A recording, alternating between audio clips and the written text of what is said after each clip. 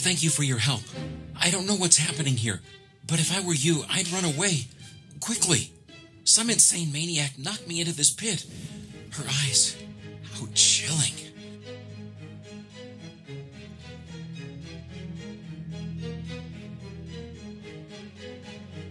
I'm leaving at once. Here, take this. I've got nothing else to thank you with, so it must suffice.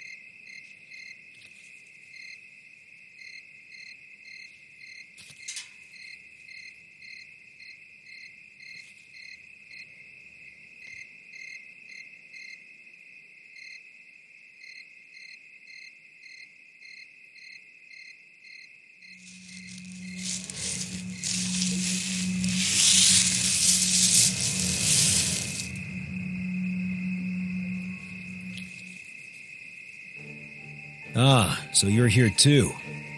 Did you recognize our villain? It's the maid. She really pulled the wool over our eyes. But why did she bring me here? Maybe it has something to do with this sphere. There's a force field protecting it, however. Take a look at this. It could help us.